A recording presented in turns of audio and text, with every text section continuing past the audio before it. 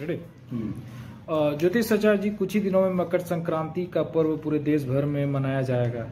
मकर संक्रांति के दिन जातक को क्या उपाय करना चाहिए ताकि उनके धन और नौकरी में तरक्की मिले?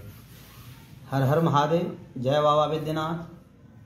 अब 2024 वर्ष का मकर संक्रांति जो है सूर्य जो मकर राशि पर जाएँगे उस दिन का बहुत बड़ा महत्व है।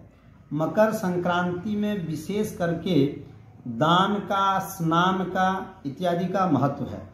तो यदि आप अपने घर में तरक्की चाहते हैं और अपने घर में सुख और शांति चाहते हैं तो आप कुछ उपाय करें। इससे आपके घर में तरक्की, लक्ष्मी की वृद्धि और घर में शांति का माहौल बनेगा।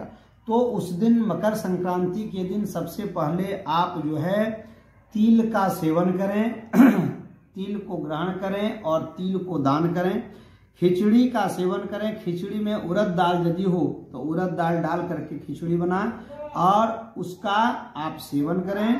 काला तिल उत्तर दिशा में अपने घर से उत्तर, थोड़ा सा काला तिल ले लें, घर के उत्तर में उसको डाल दें या फेंक दें, जैसा भी हो।